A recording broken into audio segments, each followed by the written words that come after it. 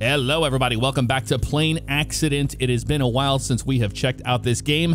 It was released as a demo originally that we played on the channel, and now it was released a couple months ago, and I wanted to wait for some updates to come out before we jumped into it. So we have a tutorial that we have to go through. I'm going to go ahead and knock this out. That's a nice looking pickup truck, if I do say so myself and uh, then we'll get started. All right, we have completed our training, so we're here out on our first case. Um, so I'm gonna go ahead and open this up, grab our backpack. We're gonna need that for sure.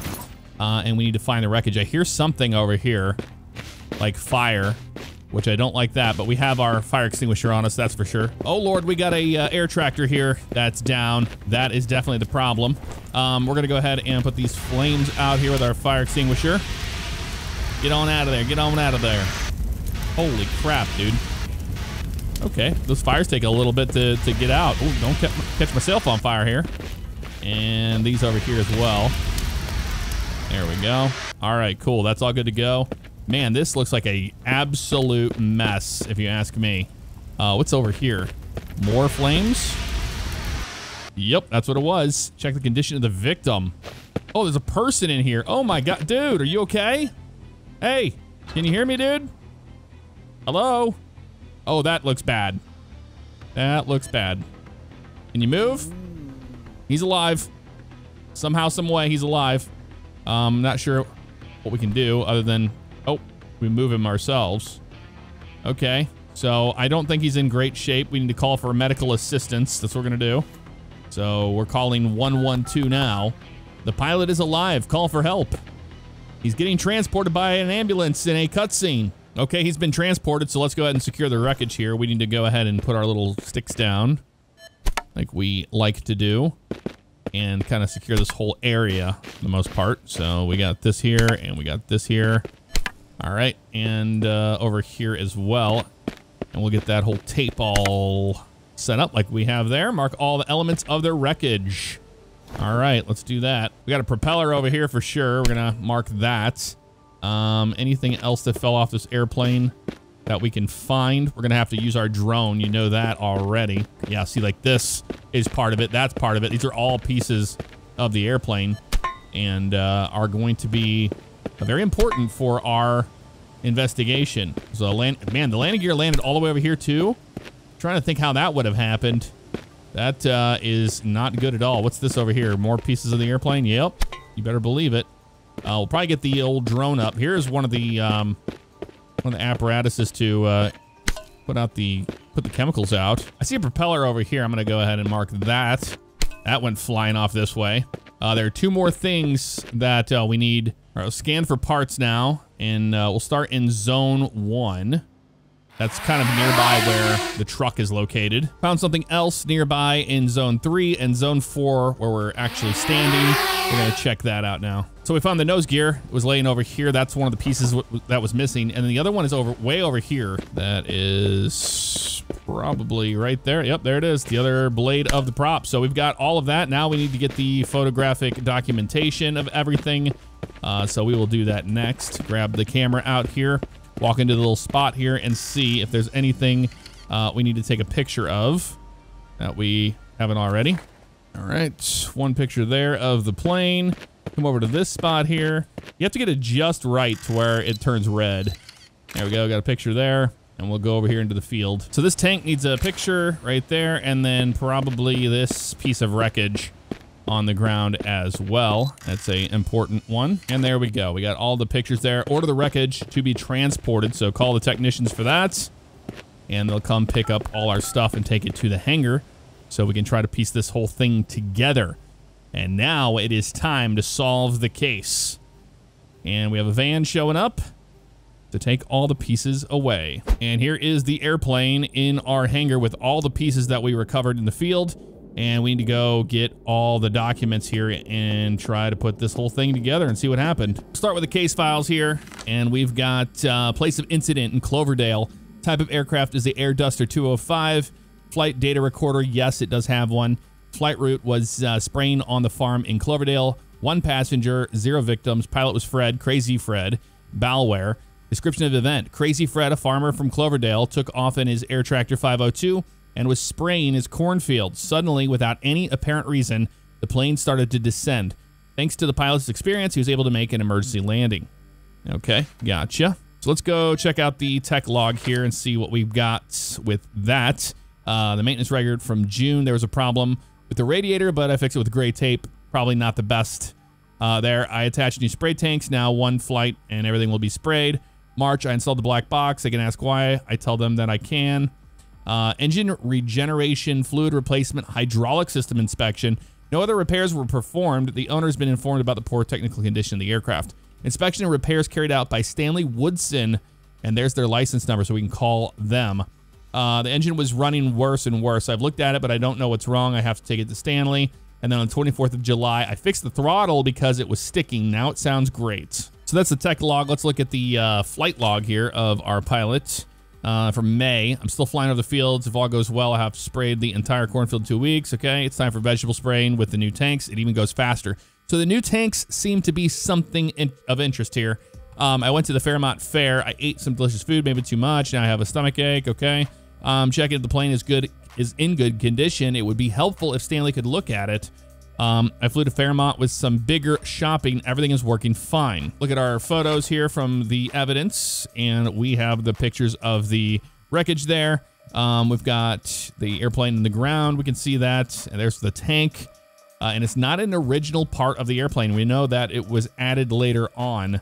Uh, and there you go. The photo doesn't add anything to case on that. So now we can go ahead and look at the witnesses, see if they saw anything in the area. We got Sergeant Kowalski uh, saying this What a break. I managed to determine that the witness to the accident was neighbor Mike. Perhaps his testimony will be helpful. Okay, we got a phone number for him. Uh, Mr. Fred Balware was admitted to our hospital in critical condition and has not regained consciousness yet. When his condition improves, I will inform you by email. Okay, so he's still in the hospital, not uh, doing so well. Let's get uh, all this stuff out here and try to make sense of all of this. Let's use the phone, call the witnesses. Uh, we'll start with Mechanic Stanley, see what he said.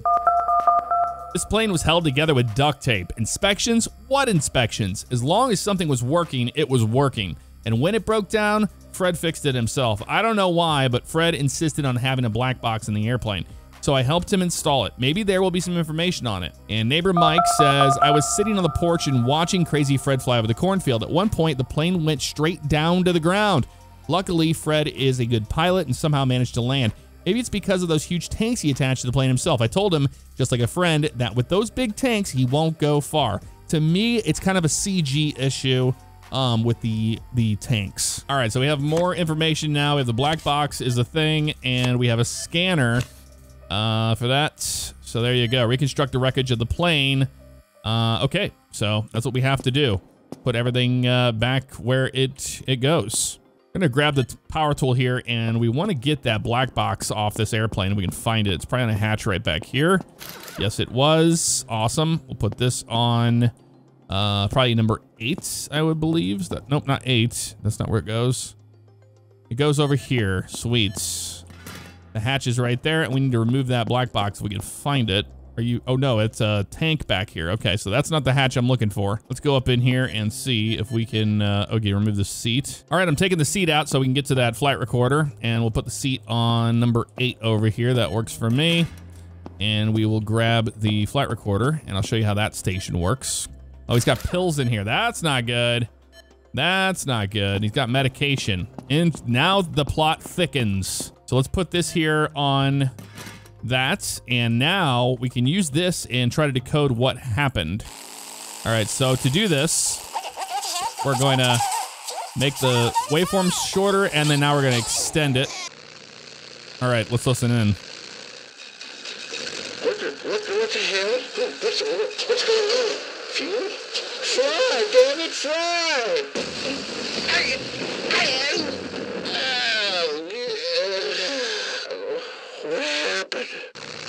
Well, it sounds like uh, the airplane did not want to fly. That's what it sounded like to me. So now we have to reconstruct the wreckage of the plane, send the vial for analysis, and receive the email about it. So let's get this vial out here. This is going for analysis to see what the heck it was. And to do that, we'll come over here to this box, throw it in the box, take the box, we'll send it off to the courier, and we'll find out what the heck those pills are. There you go. Sweet. All right, we have more evidence here. So new evidence was the pills. We've added that now. So it's starting to come together. We've got something on the email, it looks like. Let's see what this is. So the recording decoded successfully. Reading result during the flight, the engine stopped functioning. The probable cause was fuel depletion. Recommendations check the fuel level. Okay, so check the fuel level in the aircraft's tank. Got it. Outbox, nothing in there. Okay, cool. We're good. All right, propeller. We'll put that back on here. Put the tail wheel back on the airplane here. There we go. And I'm going to put all these parts back on the airplane where they belong so it all makes sense to us.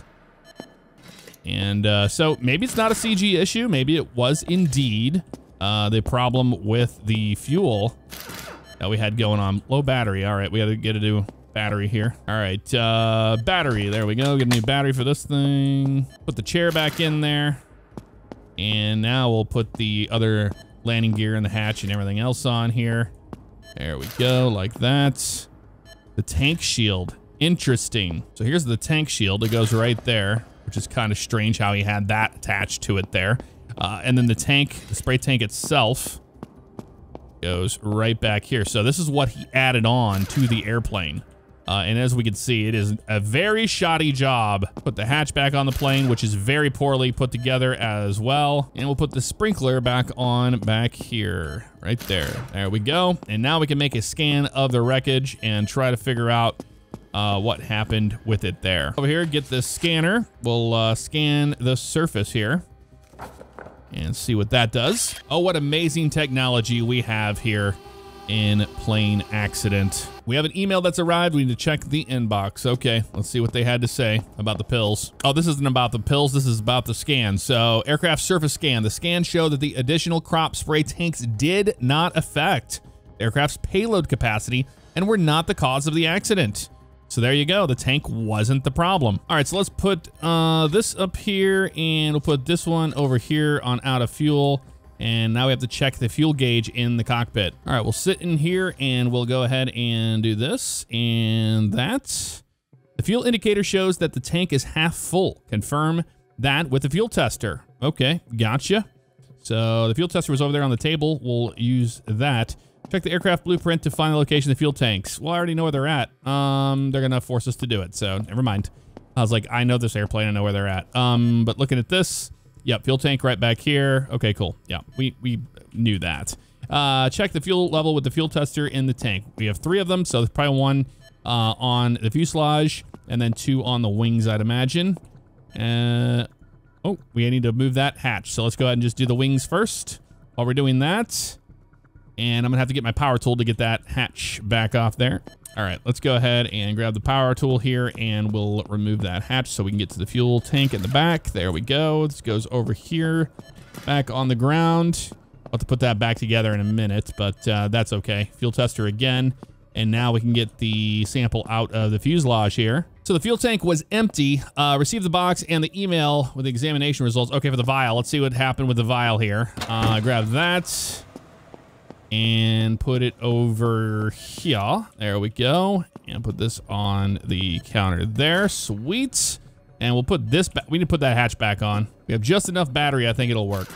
Yep. Perfect. Sweet. Had enough for one.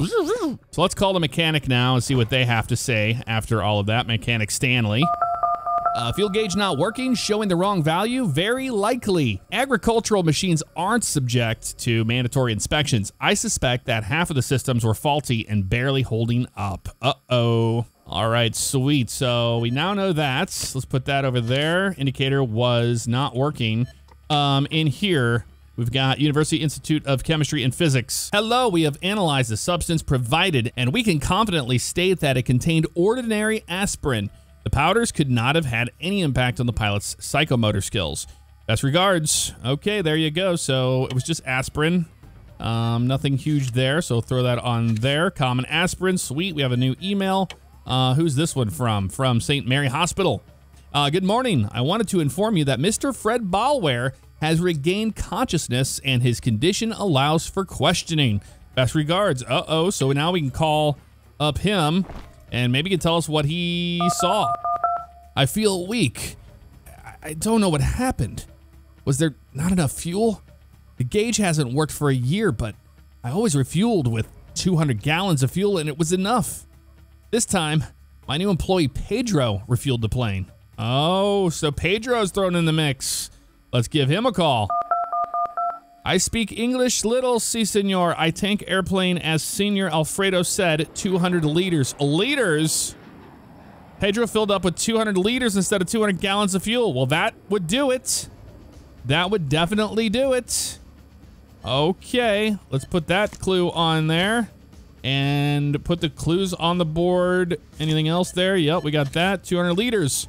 Establish the cause of the accident on the board. Well, I mean, it's easy to say. Uh, this was fine.